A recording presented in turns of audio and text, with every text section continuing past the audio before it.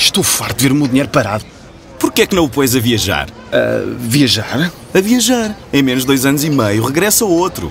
E vai como? A pé? Desde quando é que o dinheiro anda a pé?